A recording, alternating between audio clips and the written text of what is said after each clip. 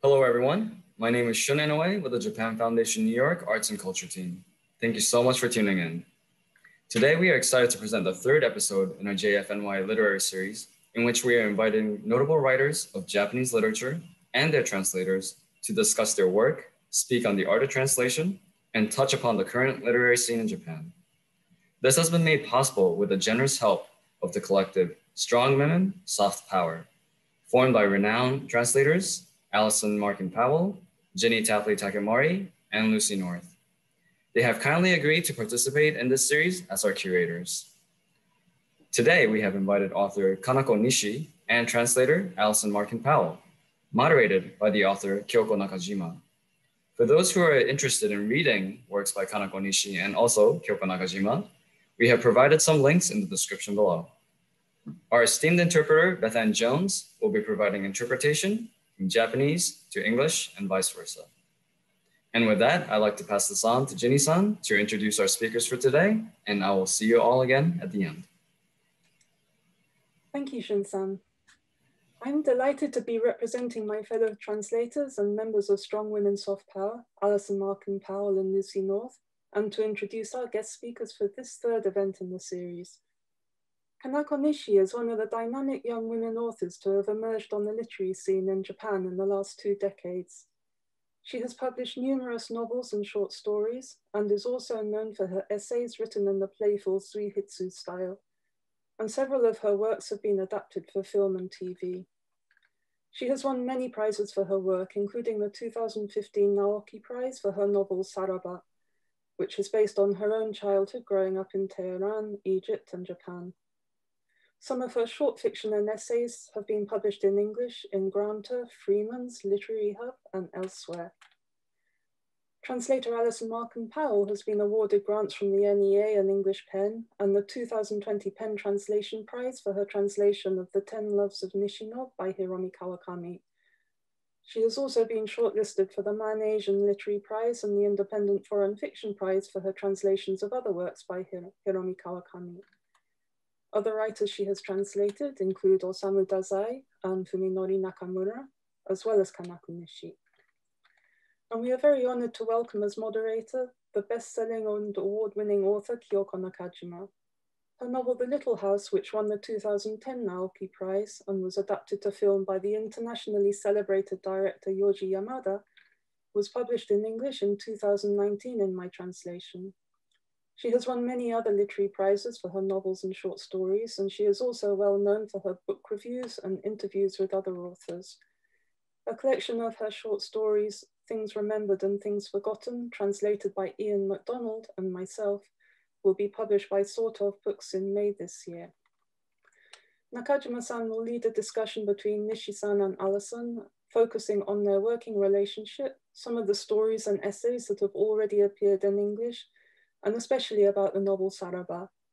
We will then be treated to a reading in Japanese and English of an excerpt of the novel, followed by further discussion. I will then come back on screen with some more questions submitted ahead of time by members of the audience. And as always, we are delighted to welcome Bethan Jones as our interpreter for the event. And now I am thrilled to hand things over to Kyoko Nakajima. ありがとうございます。えっと今日はあのとてもドキドキしてるんですけれどもあのまずはじめにこういう機会を与えてくださった国際交流基金、えー、ニューヨーク文化センターの皆さんとそしてあのストロングウーマンソフトパワーの皆さんにあのお礼を申し上げたいと思います。西加奈子さんはあのとてもとても人気のあるあのそして実力のある作家であの日本でみんながすごく大事にしている作家なので あの紹介され英語で紹介されて英語圏で紹介されていくっていうことでこれからあの皆さんがあのさらばっていう彼女の代表作を読まれるんだなと思うととてもドキドキします。で今日はあのさらばを翻訳されたアリソンさんと西さんにいろんなことを時間の許す限り伺っていきたいというふうに思っております。で、えー、一番最初の質問なんですけれども、はい、あのまずお二人のこう出会いというか、まあ、そういう話を聞きたいと思っているんですね。あの英訳、まあ、西さんが英訳を出したいという強い思いを持たれていてそれであのいろんな方がこうアリソンさんをと出会うようにあのなさったというようなお話を漏れ伺っているのでそのあたりから西さんちょっと聞かせていただけますか？えっと、私からでいいですかアリソンさん。えっともともと私がその英訳の夢を持ったのは、えっと、17歳の時にトニ・モリスンの小説に出会いましてで今もそうなんですけど英語が読めない状態でトニ・モリスンの翻訳本ですね大越よし子さんの素晴らしい翻訳本を読みましてそれですごい衝撃を受けたのが大きいですね。で翻訳家の人がいなければそして翻訳されなければ私はモリスの小説に出会ってなかったと思うんです。で例えば私がいずれ英語で勉強して原文で読むっていう選択肢もあったけど17歳のあの瞬間に出会ったことが大きくてそういうタイミングもあって英訳翻訳ってすごい出会いだなと思っていてなので自分の小説が英訳されることってもう皆さんに届く飛距離が全然違いますよね。で私は本当に自分でもちゃんと自覚できてるぐらい傲慢でなるべくたくさんの人に自分の本を読んでほしいっていう思いがあってでもじゃあ英訳ってどうしたらいいんだろうって本当に全くわからない状態の時にアリソンさんと共通の知り合いがいて大和田敏之さんという方なんですけどその方がアリソンさんを紹介してくれてエッセイのお仕事だったかしら最初は。それでアリソンさんとお会いして最初はメールだけで仕事をしてたんですけど最終的にお会いして結果長いお付き合いになります。So, Nishi-san, yeah, as she said, we were introduced by a mutual friend, and um, he had actually recommended Nishi-san's work uh, years before we had the introduction, and it was a um, an essay that an editor had asked me about commissioning. So that was the origin of our meeting. But uh, I am always on the lookout for exciting uh, writers to translate. So this was uh, this was a, such a wonderful opportunity that really did grow into uh, a very rewarding relationship. Uh, the ability to work this closely with a writer is quite different from being assigned by a publisher, which is mostly how it had happened with me before with the other authors I've translated. And so the fact that Nishi-san and I are in direct contact and she sends me things, the first fiction, the first story of hers that I translated, she wrote it and sent it to me before it was even published in Japan. Uh, that was uh, Moyasu Burn. And it was just, I mean, astonishing mm-hmm. is the way I would describe it. So um, that was the, you know, the first essay she wrote is called Merry Christmas. And I believe there's a link for that. And Burn is available in my translation in Freeman's. And um, it's really been remarkable to watch the way that Nishi-san writes, to see the, the writing process up close like this. Um, and I'm not sure if I'm supposed to ask questions, but maybe we can get to this later. One a question that I'm wondering about for Nishi-san is has this relationship and the sort of the being translated into English has that had any effect on how you write?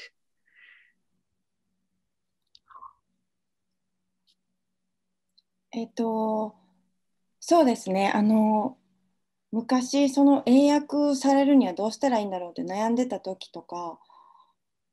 こうちょっとだけ考えた時期はあったんですけどそれは本当にアリソンさんに勇気づけてもらって例えば私がその何かを書くときにこれは英語圏の人には分かりにくいんじゃないかどう思うってアリソンさんに相談したらアリソンさんがこちらに合わせる必要はないってこの時代には簡単に調べることがまずできるしその注釈をたくさんつけるのは美しくないよねって アリソンさんが言ってくれてとにかくかなこさんは自分の書きたいものを自由に書いてくれってそれはすごく勇気になりましたね。なのでアリソンさんのおかげで今までと変わらない精神状態で書くことはできてます。あのすごく面白い素晴らしいあの2人の関係があの作られててそれってちょっと珍しいというかあの最近だからできるようになった関係なのかなっていうふうに思うんですね。あの翻訳っていうと例えばもう死んじゃった人を訳したりすることだってあるわけだし何か距離ももっとその国同士の距離ももっと遠くてあのそんなにこう直接コンタクトを取らずに翻訳するっていうのが、まあ、スタンダードだった時期もあったのかなというふうに思うんですけどアリソンさんは翻訳家としてはどういうふうにお考えですか Well, as I mentioned, it, it's extremely rewarding and exciting to be working so close to the origin of the creative process and to um, sort of talk about um, in this sense i think nishan and i have talked a lot about sort of how her work ought to be you know published how it ought to be introduced. And for instance you know saraba is i think nishisan had been writing for 10 years had been publishing novels for 10 years in japan before that book was published. So it's not her debut work. It's not her um, you know it, it, it's sort of the um, masterpiece uh, of a cumulative writing career but it is also just such a stellar way to introduce her work that that's the one that we have been uh, hoping will be the first book that's published um, the challenge i think there is that it's such a long novel and uh, it, it, you know certain english language publishers are um, hesitant about introducing a new writer with a book that's I don't know, seven or 800 pages. Um, but I have confidence, especially since we've already had a, a taste of Nishisan's writing appear in various places, that, uh, that this work will uh, impress English language readers as it has uh, in other countries around the world already.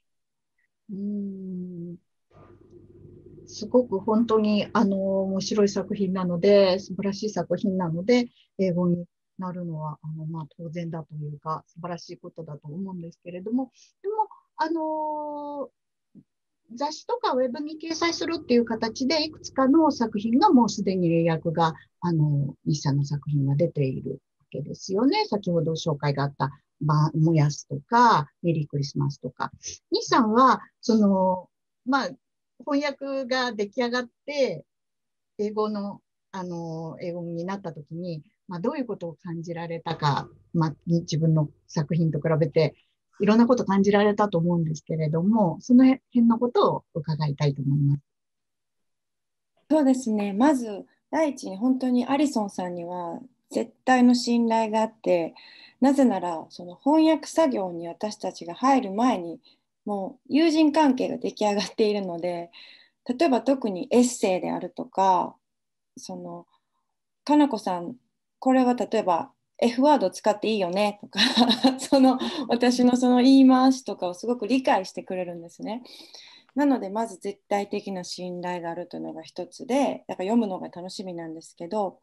例えばバーンに関してあの主人公の女の子が用務員のおじさんから声をかけられるんですけどその言葉が形がないものは燃やすことができないんですっていう言葉があってこれは日本語特有なんですけど日本語は主語なしで文章を作ることができますよね。主語をすごく曖昧にできる。でこの場合多分私はなんとなく We 私たちは形がないものは燃やすことができないんだっていうことを想定して書いていたように記憶してるんですけどアリソンさんの翻訳翻訳では You cannot burn ってなっててで英語の You がすなわちあなたであるだけではなくなんとなく一般的な私たちを指す単語にもなるっていうことを理解してるんですけどこの場合はあなたおじさんが主人公にあなたは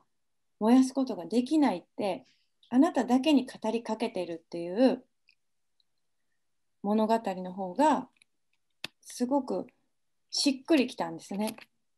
だから自分が想定していたものを We っていうぼんやりしたものを超えてあなたは燃やすことができないけれどもあなたはあなたの力であなたの呪いを解くんだっていうメッセージになって強くなって戻ってきた感じがあってそれは英訳がないと気づけなかったことです。うん僕今のお話は面白くて翻訳っていうのがこう何て言うんですかね双方向のというかこう小説家が投げたものをただその翻訳家が受け取るっていうだけじゃなくてこうキャッチボールみたいなものになってるとすごい面白いお話だったというふうに、えー、思います。えっと、アリソンさんは西さんのその作品を訳す時の、まあ、魅力というか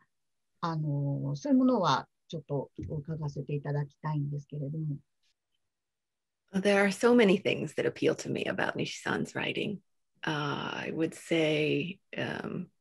first, first, the subject matter, the topics that she chooses to explore are,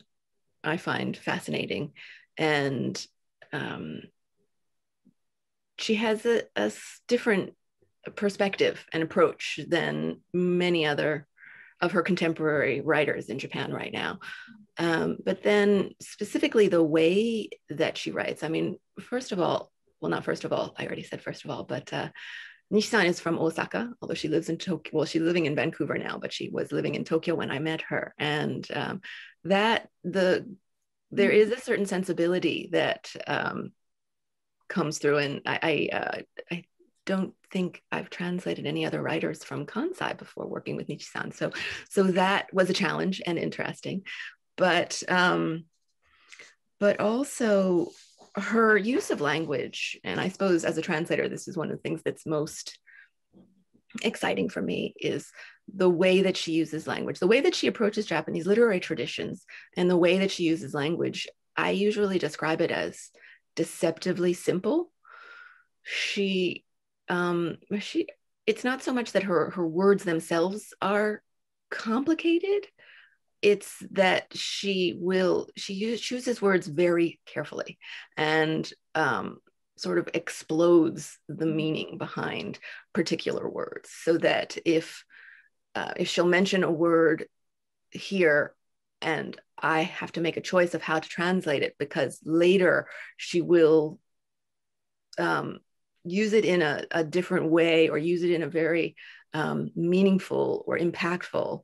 uh, to send a message. Mm-hmm. And I have to make sure that the word that I've chosen at the beginning, it still works in the same way in English. So the, it's a bit of a puzzle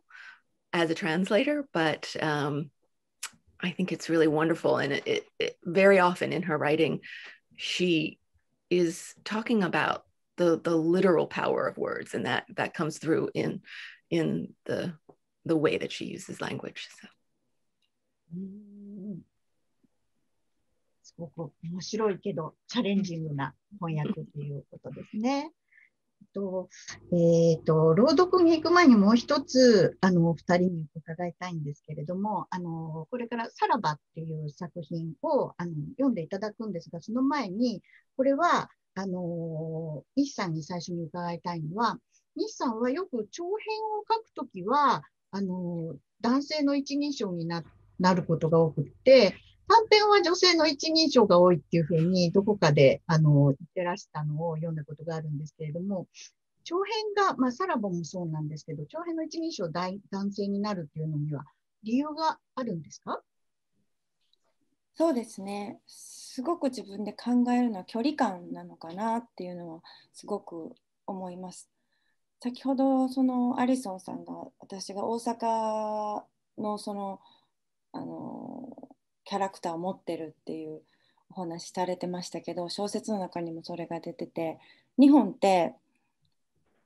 その英語がどれぐらいそのグラデーションがあるのかわからないんだけど日本って話し方でその人がどのようなキャラクターでどのような役職でどのような状況にあって誰と話してるかまでが結構わかる言語ですよね。あの敬語で話しているとあ多分相手は目上の人なんだ目上って言い方も日本なんですけどとかあとは私は男性を書くときに一人称僕で書くか俺で書くかっていうのもあるんですね。で僕だと、まあ、一般的なんですけど俺だとちょっとこうマッチョな男性になる。でまさに今書いてる小説の一人称は俺なんです。ですごくその認証で役割が分かって、それによって世界の見え方が変わると思うんですね。で映画監督の深田浩二さんがその作品はその作家があのこの社会この世界をこんな風に見ているっていう表明であるっていうことをおっしゃっていてすごく納得したんですけど私は個人の西加奈子としては自分の生きてる世界を私の視点でしか見れない私はもう43年間私として生きてきて私以外のパースペクティブから世界を見れないことがすごくもどかしくてでそういう時に小説を書くって自分以外のパースペクティブで世界を見ることだと思うんですね。でもちろん私は女性なので女性一人称で書くべきだって思う時もあるんですけどそうではなくて男性のパースペクティブを借りてこの社会を見たらどんな風に見えるんだろう。例えば女性で生きるより男性で生きる方が肩書きにとらわれるかもしれないしその女性が例えば強くあることを女性としての私はものすごく誇り高く書けるけど男性の目を借りるとそれに恐れを感じてる人がいるんじゃないか。なのでこの分断が起こってるんじゃないか。とかいろんな人のパースペクティブを借りることで描ける世界があるなって思っていて特にさらばは私とバイオグラフィーが同じなんです。同じ誕生日でイランで生まれてって。そして長編ってなるとすごく自分とその主人公混同しやすい。うんうん、で作品はなん私は小説の方が作家より強くないといけないと思っていて自分と主人公を混同させた場合自分の西加奈子個人の意見を作品で発表したくなることが怖いんですね。それはエッセイでやるべきだしそれは講演会でやるべきだしそれは個人のダイアログでやるべきだと思っていて小説は小説が要請してくる世界を書く。それが仕事だと思っているのでさらばの場合はこの距離感。女性ではなく男性で。でこんな家族を私は持っていないけどこういう家族を持ってる。女性が強い家族がいる男性。それをどう思うのか？どんなふうに世界が見えるのかっていうのを書きたかったんだなと今になって思います。とてもあのよくわかるというか納得できる説明でしたね。っていうのは西さんのあの「さらば」っていう小説の主人公はちょっと情けないというか あとまあ結構ひどい目にもあっちゃうしなんていうんですかね、その自己愛みたいなものがあまり感じられないというか、その書いてる人が感情移入しちゃって自己愛っていうようなのがない、そのこう批評性みたいなのが、私はすごく面白く読んだので、ああ、そういうことなんだなっていうのをちょっと納得できるところがありました。面白かったです。で、だけど、俺とか僕とかそういうのないし、英語にするときはとても大変なんじゃないかっていうのは、まあ、本当に素朴に思ったんですけど、アリソンさん、いかがですか Yes, um, it is, um, again, one of the challenges. Although I, I think, um, and there has been a lot of conversations going on lately, recently, about representation and who should write what and who should translate what. Uh, and I, I don't think that we should limit who writes and who translates what. But um, in talking about the translation and um, the different pronouns and the ways in which these very subtle aspects of the characters and their personalities and their relationships with everyone it, it does make it uh, it does make it challenging you know for as uh, Nishi-san is talking about the and we're go- you'll hear it um, in Japanese and in English in, shortly um, you know the the first line of saraba uses boku and there is no way for me to convey to readers as early on that the character is male so uh, it, it does come out a little bit later but we had uh, we did we participated in an event once when nishi-san was in new york where uh, there was just the first page of a different novel. And um, two different translators were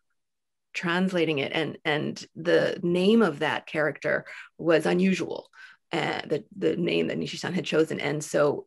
each translator who was tra- translating it one translated it as a female and one translated it as a male. And it wasn't even until she participated in that event that it had occurred to Nishi-san that you know that was a question that would come up if this book was was in translation. So it's i think one of the it's obviously it's one of the challenges as a translator and you wonder then i think you ask that question too like how important is it for the reader? When do they need to know? What do they need to know how is this functioning within the novel? So あの今のアリソンさんのお話もすごい面白かったですけど、ますますさらばがどんな小説なのか、皆さん絶対知りたくなったと思うので、あのぜひお二人にあのリーディングをしていただきたいと思います。で、ちょっとアリソンさんに、えー、説明をお願いしたいと思います。Yes, I'm going to try to quickly summarize this uh, epic novel, but um, to say so, uh, Saraba is it is in the tradition of uh, uh, what's called an I novel in Japan, in that the the the protagonist has a lot of the um, history, not necessarily characteristics, but history as the author. And so Nishi-san has given, um, as you'll hear, this is the story, the first few pages is the story of the character's birth. Um, Nishi-san was born, you know, the character is born in uh, Tehran, Iran, and then goes back to Japan and then moves, the family moves to Cairo, Egypt and spend several years there before going back to Japan, to Osaka. So the story spans the globe and it takes place beginning in 1977 and it spans recent history of um, not just Japan, but around the world. Uh, it includes the earthquake disasters that have happened within the past several decades in Japan, the sarin gas attacks, and even going up to the Arab Spring that took place in the Middle East. So, against this backdrop, it is also the story of the disintegration of a family. A very, what you'll see at the beginning is a tight knit family. And so you have this, um, we've been talking about distance. So you have this sort of up close, and then you have this, this background of uh, what's happening in the world. But first, we're going to start with the reading. So, お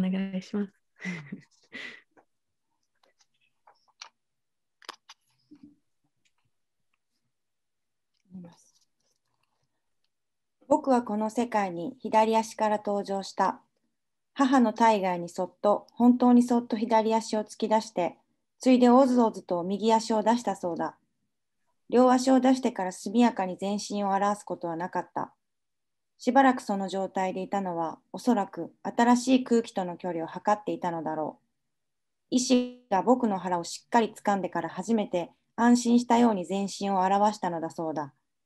それからひくひくと体を震わせ、皆が少し心配する頃になってやっと僕は泣き出したのだった。とても僕らしい登場の仕方だと思う。まるきり知らない世界に危機として飛び込んでいく朗らかさは僕にはない。あるのはまず恐怖だ。その世界に馴染めるのか、生きてゆけるのか。恐怖はしばらく僕の体を停止させる。そしてその停止をやっと解き、背中を押してくれるのは諦めである。自分にはこの世界しかない。ここで生きていくしかないのだからという定念は、生まれ落ちた瞬間のもう生まれてしまったという事実と緩やかに、でも確実につながっているように思う。I entered this world left foot first. This is what I've been told that ever so furtively, I stuck my left foot outside of my mother's body, followed hesitantly by my right. Once both feet were out, it wasn't as if the rest of me appeared right away. I remained in that state for a while, perhaps measuring the distance to my new surroundings. Apparently, once the doctor had a firm grasp on my belly, I seemed reassured enough to make a full appearance. And then, my body quivering and everyone starting to worry, I let out a cry at last. This strikes me as very much my own way of entering the world. There was no joy about plunging myself into a completely unknown world.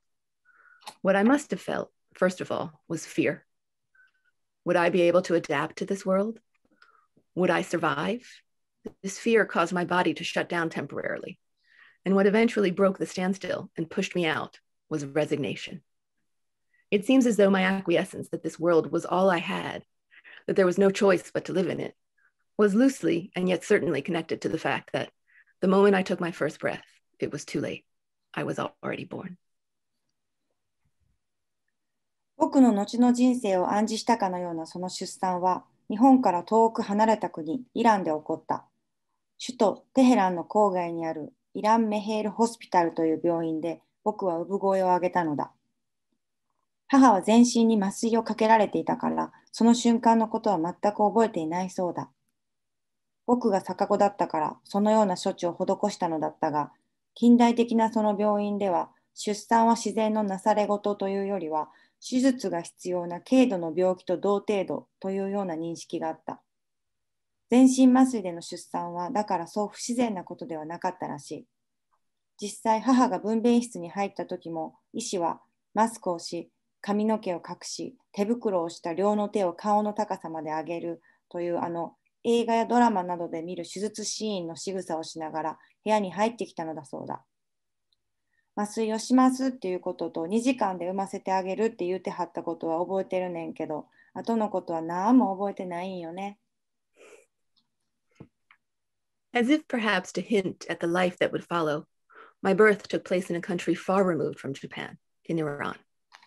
I let out my first cry at Iran Mer Hospital, in a suburb of the capital, Tehran. My mother had been given general anesthesia, so apparently she doesn't remember anything at all about the occasion. This precaution was taken because I was a breech birth. In a modern hospital like that, it was understood that the completely natural miracle of childbirth did, on occasion, require surgery. Consequently, it seems, delivery under general anesthesia was not so unusual. In fact, when my mother was in the labor and delivery room, the doctor had even come in, wearing a mask, his hair covered, gloves hands held up near his face, just like a scene in the operating room from a movie or on TV, she said. I remember him saying to me, I'm going to give you anesthesia. I'll have you delivered in two hours. But I don't remember a single thing after that.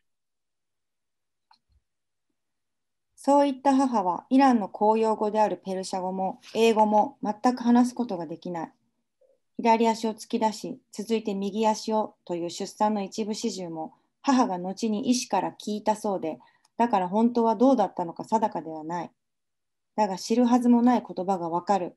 どういう回路でかは説明できないが、何かすごく伝わってくる感覚は僕の身にも覚えがあるから、僕は母を信じることにしている。赴任先のイランで母の妊娠が疑われたとき、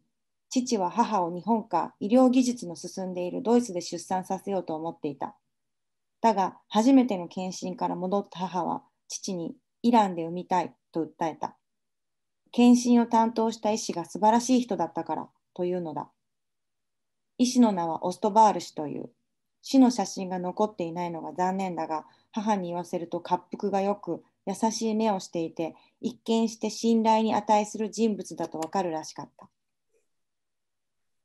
My mother didn't speak a word of Farsi, the official, language of Iran,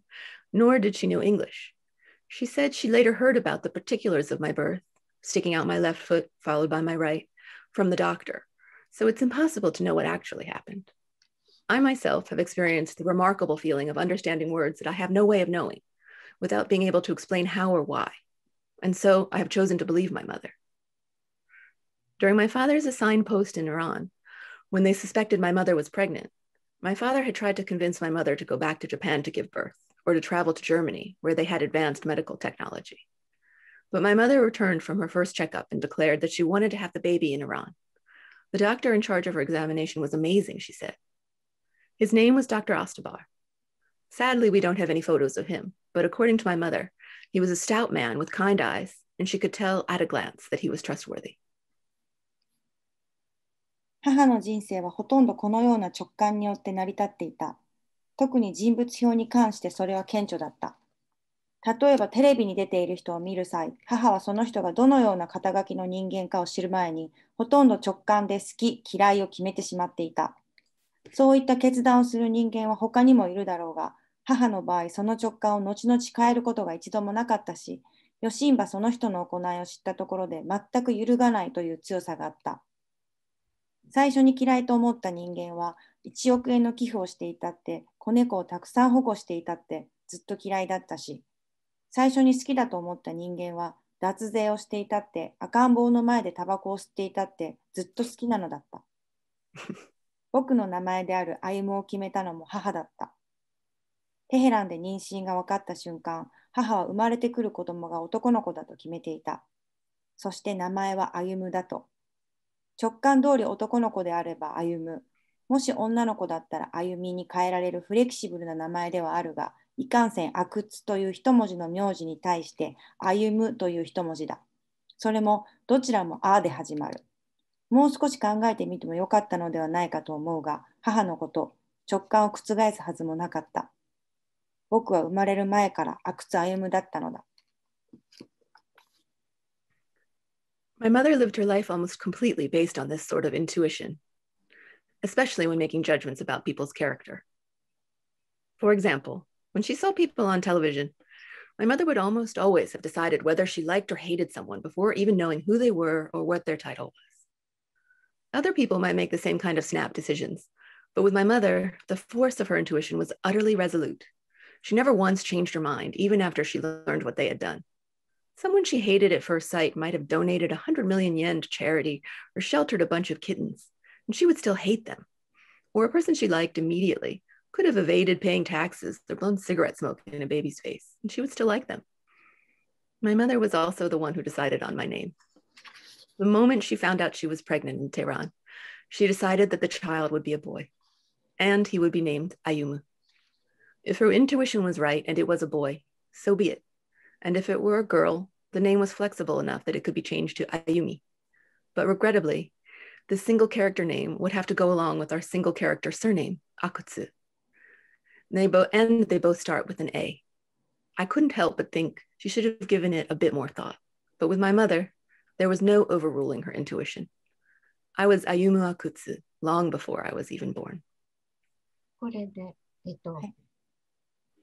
今、じゃあ、朗読が終わったところでしょうか。はい、ありがとうございました。すごい楽しく聞いて、なんか英語もまるでわかるような気がします。そうですね。あのまあ、いろいろ伺いたくことはたくさんあるんですけれども、ちょちょっとさっき出た質問とかぶるかもしれないから、まあ後で編集で何とかしてほしいんですけど、あのこの「さらば」という作品には、とてもあのいろんなこう、先ほどお二人もおっしゃってたけど、いろんな言葉が出てきますよね。あの方言であるとか、うん、あのまたその、さらばっていうその言葉自体もちょっと先になると説明されるけど、アラビア語と日本語から作った造語あのなんですね、このタイトル自体が。でそういうあのいろんなこう方言だとか外国語、まあ私たちにとってですけど、外国語であるとか、あるいは、あの、同じ音なんだけど意味が違うこととか、なんかそういう言葉がたくさん出てくるっていう、そういう小説なんですけど、西さんはそれを、そういう言葉っていうのはどういうふうにこう意識されているのかっていうことを、まず西さんにお伺いしたいです。この小説の中で、その主人公の歩むと、あのエジプト人の友達がこうヤコブっていうんですけどヤコブと一緒に遊ぶシーンがあるんですけど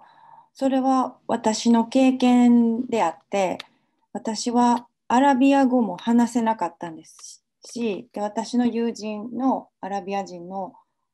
女の子だったんですけどエジプエジプト人の女の子ももちろん日本語は理解してないもうすごく遊んでたんです。うん、で例えば体を使った遊びだったら理解できるんですけどすっごい安いおもちゃのトランシーバーで遊んだりしてて、それってお話をしないと成り立たない遊びなのにどうやって遊んでたんだろうって自分ででも遊べてたんですよねその当時は。だから多分私たちは言葉を返さなくても通じ合える共通の魔法みたいなのを持っていたのに成長するに従ってその魔法を手放してしまったっていう感覚があってそして今私は小説っていう言葉を扱う仕事をしてますよね。するとその言葉って例えばこの世に存在していなかった存在してないとされていた何かに名前を与えて存在させるそれはすごく祝福でもあるし同時にその名付けが強すぎて名前をつけるっていう行為が強すぎてその言葉がそれ以外になれないっていう呪いでもあるすごくもどかしいなってで特に私は今バンクーバーに住んでいて英語を勉強中なので何か伝えたいことがある時に知っている英単語が限られるんですね。そしたらすごく言葉が強くなってしまって違うその言葉と言葉の間にあるニュアンスすごく柔らかいぼんやりした部分を伝えたいのにとかものすごくもどかしさがあってそしてそれは英語だからそうっていうわけではなくて私たちは日本語で今話をしているけど自分が知ってる言葉で自分の思いを伝えているように思って実はもっともっと深くて暗くて形もよくわからないものがあるのかもしれない。でもそれに言葉を当てはめて何とか伝えてるだけで本当はもっと全然違うものがあるんじゃないかなっていうのを常に考えるようになりました。なのでさらばでは例えば歩むとヤコブは言語を共通の言語を持たないけどすごく分かり合えててでも歩は家族がいるけど同じ言語で同じ環境で育っているはずなのに分かり合えないこともあるしそういう永遠につきまとってくるもどかしさみたいなものをさらばでも書きたかったのかなと思います。はいこういうふうに言葉について考えている作家の作品を翻訳するのはさぞ難しかろうとは思うんですけどチャレンジングだろうとは思うんですけれども。でもあのまあアリソンさんにはちょっと私は別の質問をさせていただきたくてあのアリソンさんはあのある雑誌の対談で西さんの作品について西さんという作家についてあのちょっとこう日本的な観点をその雑誌からの引用だから変なんですけど日本的な観点を脱中心化している作家だっていうふうに発言していらっしゃいました。えっと、同年代の日本の他の作家と比べて、えー、外向きっていうふうに表現していらしたと思うんですけれどもちょっとこの辺りのことをもう少しアリソンさんに聞いてみたいと思っているんですけれどもいかがでしょうか？Yes, that was something that struck me from the very beginning. I mean, obviously, there is Nishisan's experience growing up outside of Japan, which affects the way that she sees things and the way that she writes about them. Um,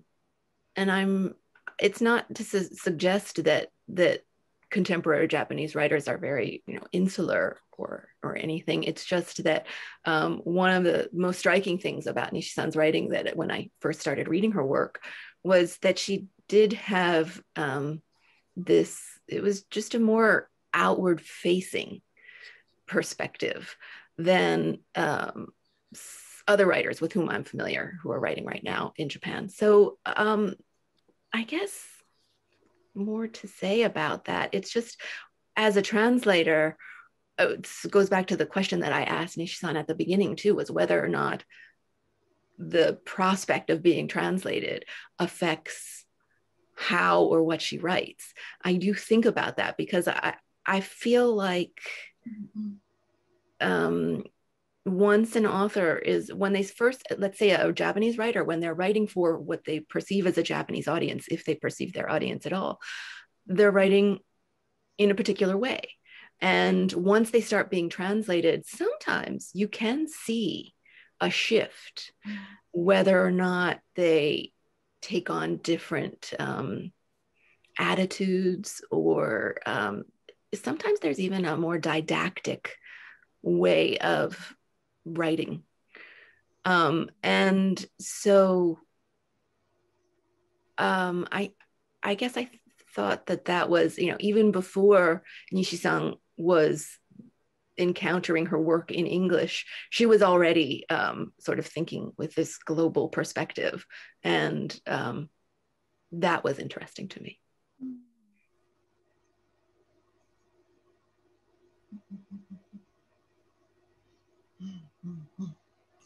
そうですね。あの今度は西さんに伺いたいんですけれど、さらばは、まあ、あのご自身の小説的な体験をあの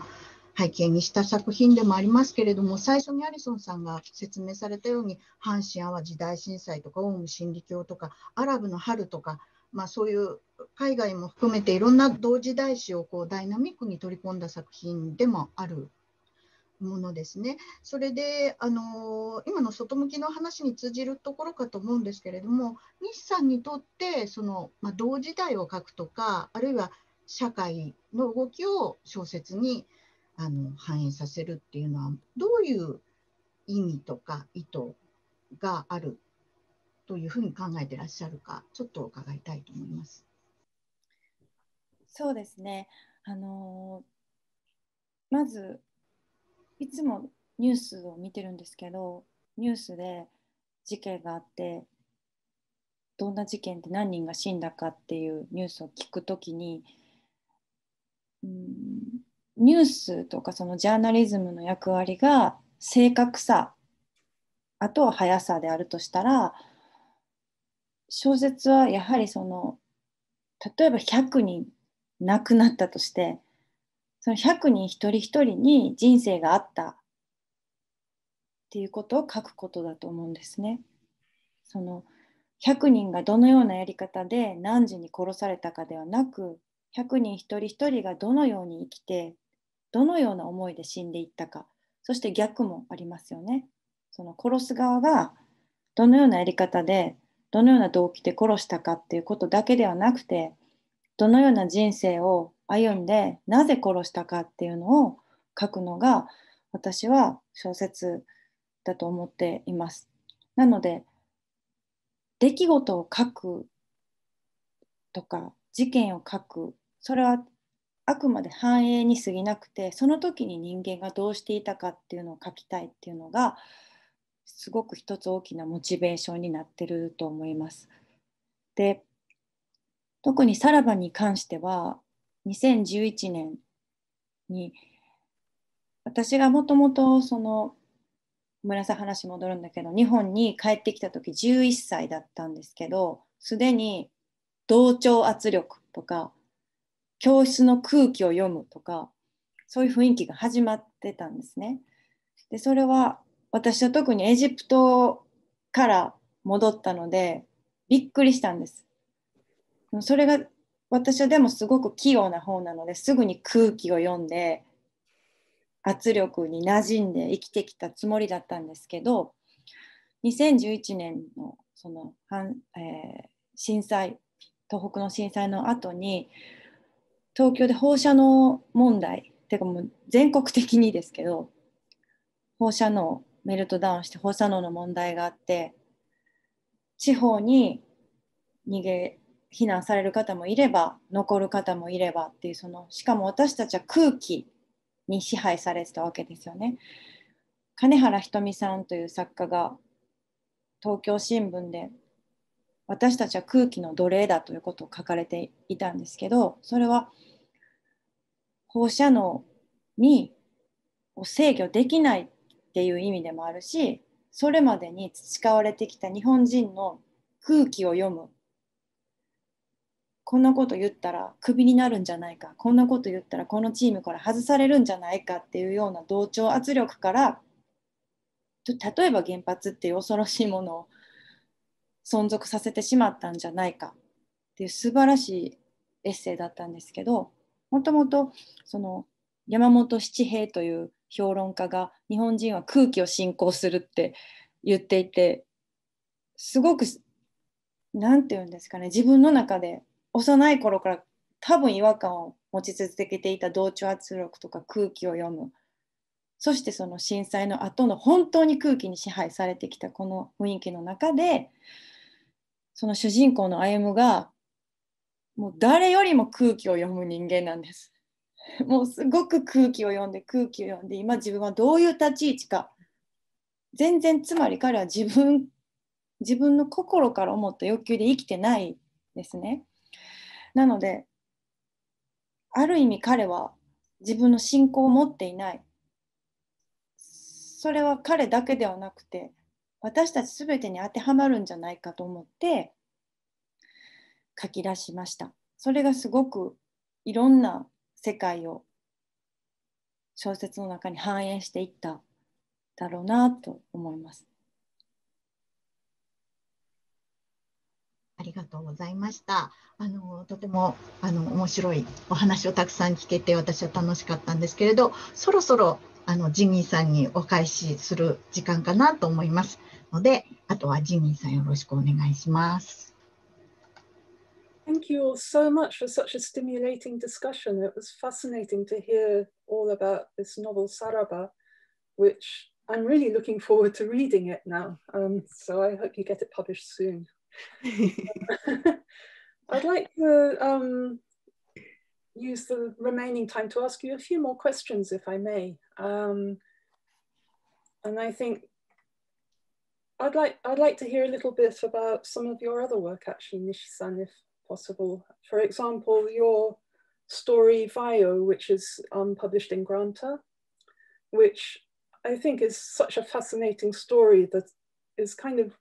dealing with women and the male gaze, violence, sexual violence is always a hint there. The kind of, I also feel that there's sort of violence that women do to themselves because of the male gaze and also to each other. And then you relate that to other forms of violence like genocide and things like that, which I, I feel there are so many layers in there. And I would really like to hear you talk a little bit about that if you can.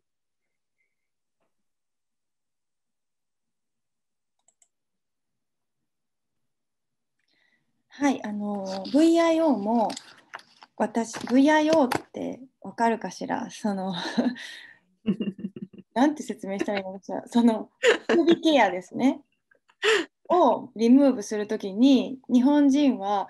直接的な言葉を嫌うんですね。女性器のとは言わなくて V、I、O っていう形で表すわけです。フロント部分は V でそのいわゆる女性器の部分は愛で、で、お尻が O。でそこの毛を取る、その VIO 脱毛って日本で言うんですけど、それを私、若い頃に一回チャレンジしたことがあって、本当に痛いんです。もう、キーって叫ぶぐらい痛くて、やってる途中で、私これ何のためにやってるんだろうって思ったんですね。そのまずすごく可愛い下着をつけたい。その下着をつける時に陰謀がはみ出すのが嫌だから。水着を着るとき小さい水着を着るときに陰毛がはみ出すのが嫌だから。それはわかるけどじゃあなんでそもそも小さい水着着ないといけないんだよって 思ってそこからあとこの痛みは何だろう。誰のために美しくなって誰のために痛いんだろう。この無駄な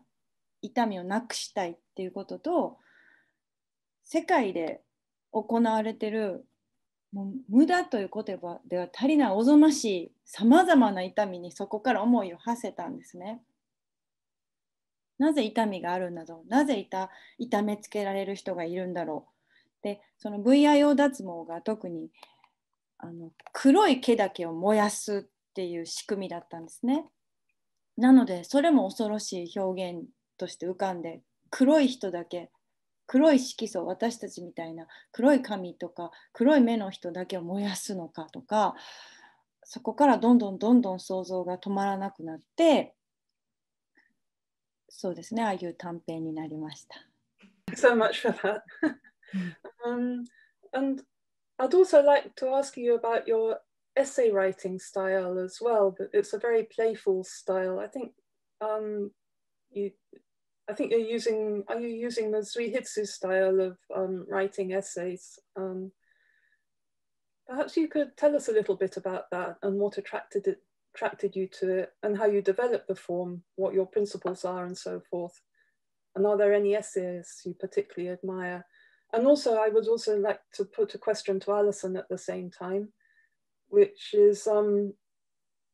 you, are translating both fiction and essays, and I'm wondering if it's sometimes hard to dis- to make sure the narrative voice sounds different for the two forms. Are there any particular ways in which they differ, or which you use to distinguish them? So. 最初私でいいかな。そうですね。エッセイは小説と違って本当に自分の思うことを 発表する場だと思ってるんですね。でもその際にもう作家書く人間発表する人間の一方的さからは絶対逃れられないいつも一方的ですよねなのでそこでどれだけ、うん、読んでくれる人にこう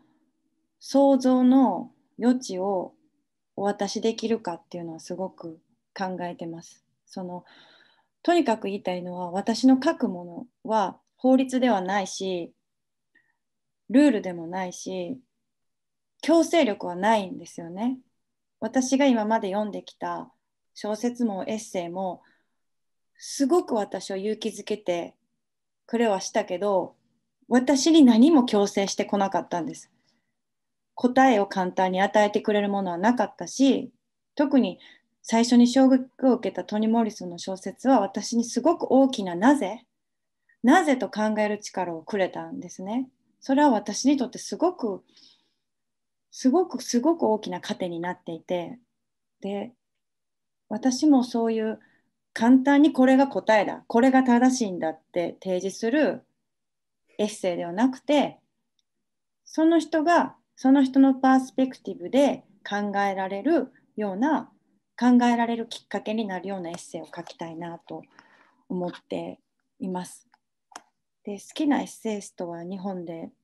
まあ、小説家でももちろん素晴らしい小説家でもあるんですけど向田邦子さんとか、えーと、武田百合子さんとかやっぱ女性の書くエッセイはすごく抑制されててすごく大好きです。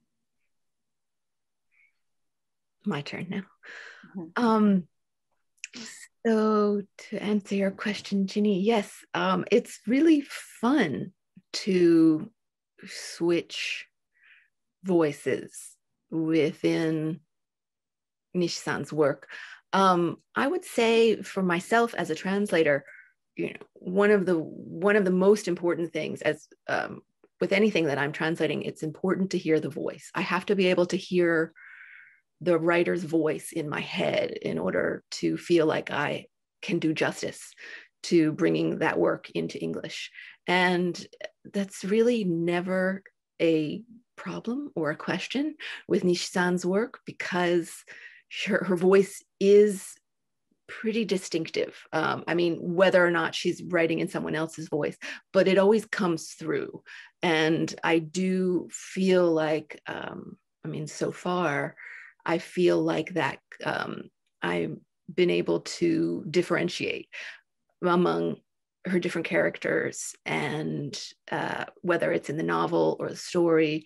Um, the essays, I suppose, um, I do feel like that is her voice. And so that is, um, I don't know if it's, it's um, like not clearer, but it's, I guess, more obvious where that's coming from. So um, it, it's, again, challenging and fun to be able to um, switch around. I mean, having said that, I, I, don't, I have never lived in Kansai. Um, I've yet to go to Osaka. I'm really hoping that uh, we can make a trip there together sometime. But um, I've definitely had to ask for uh, a little bit of help sometimes with the dialect and making sure that I understand what's conveyed by um, by the way that she's having her character speak. Um, so it's it's a learning. It's an ongoing learning experience for me. And dialect is so difficult, really. So I, I really admire that. Um, and I'd like to actually ask Nakajima-san a question as well, if I may. Um, one of the reasons that we thought about asking you to moderate this discussion between Nishi-san and Alison is because you you're not only a best-selling novelist, but you also often interview authors in for magazines and newspapers, and um, and you also review books and things like that as well. And I wonder if you know this is not so normal for for for many authors, and I just wondered if the, you started your career as an editor before you left that to go full time into writing. And I wonder if that has influenced you in the way you approach your work. Um, for example, in the level of detail in your historical novels is actually phenomenal. You must research them incredibly thoroughly. So I'm wondering how much of your writing and your approach to your career is influenced by this um, experience as an editor early in your career. はい、ありがとうございます。うん歴史 小説を扱う時にこう資料とか調べることに関してはあの私の編集者としての体験よりはあの大学で歴史を勉強したことの方があの密接に関係しているように思います。でも確かにあのエディターも知っていたしあの雑誌の記者も知っていたのでそのためにこう調べ物するっていうこともあったので割とこうそういうことは嫌いじゃないっていうのはあると思うんですね。あとはあの書評を書くのも割と好きです。頭が整理されるしあの好きなんですけどインタビューはどうなんでしょうねこれもあの確これは本当に確かにあの編集者時代ライター時代にいろんな人に話を聞くっていうことをやって、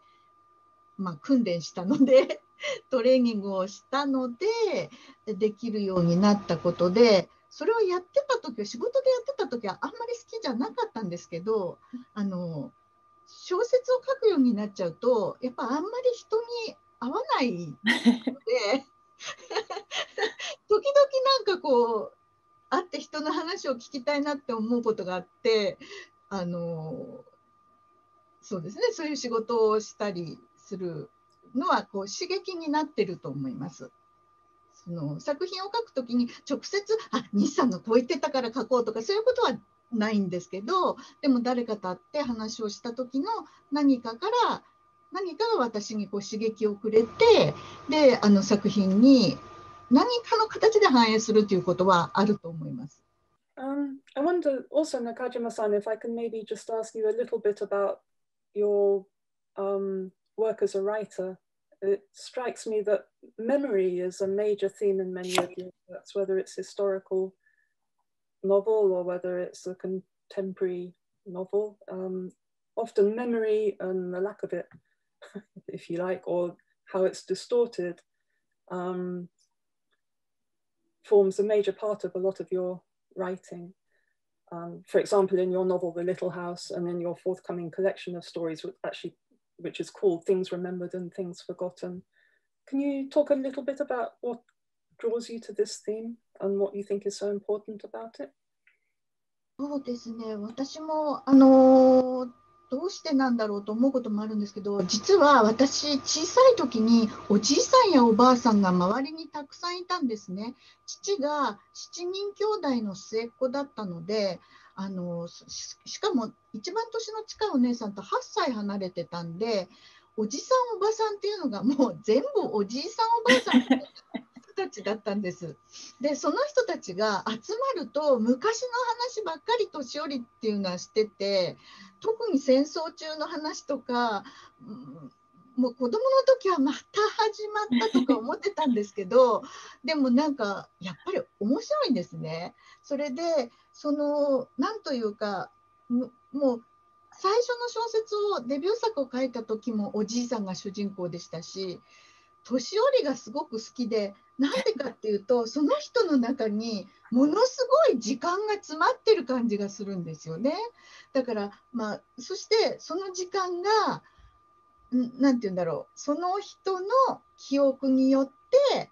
あの形を変えたり形を成したりしてそれがこうそのおじいさんというものっていうか人間というものというかそういう感覚があってなんかそれをすっごく面白いと思っちゃったもんでそしてそのそそれが面白いから小説を書いてみたいって思ったっていうのとすごくつながっているんですね。だからそういうこう何かうん子供の時の体験っていうのもあるのかなと思います。Very much. Um, I think we have one more time for one more question for Nishi-san. Maybe Alison can chime in on this as well. Is um, I'd love I'd love to know what you're actually writing now, or what ideas you are working on at the moment, and your plans for the for the apart from Saraba, you know, like what other plans the both of you have together now. えっと、その前にごめんなさい、ちょっと中島さんのお話聞いて思った話ちょっとだけしていいですか？その中島さんがそのこのお年寄りいわゆるお年寄りが好き時間が詰まってるからっておっしゃって例えばそれってこの今回のイベントのユウさんがおっしゃってた時間は一定ではない声や響きとなって漂うっておっしゃってたこととかとリンクしてくると思うんですね。で中島さんは夢見る帝国図書館で上野を書いていらしてユウさんはもちろん JR 上野駅公園口で上野を書いていらっしゃる。そこもリンクしてるけど、全く違うものができますよね。それが本当にそのご自身の作家としてのパースペクティブやと思うんです。それが世界をどう見ているかの表明だと思うんですね。なので、あのモーガン・ジャイルズさんもおっしゃってましたけど、その今すごくたくさんの日本人作家特に女性作家が海外で翻訳されていてそれはやっぱりすごく重要なことやと私は思っていてモーガンさんがおっしゃってた限られた日本のイメージがあったそれを変えていくことができるってことをおっしゃってましたけど本当にその通りだと思っていて例えばもう村田沙耶香さんなんか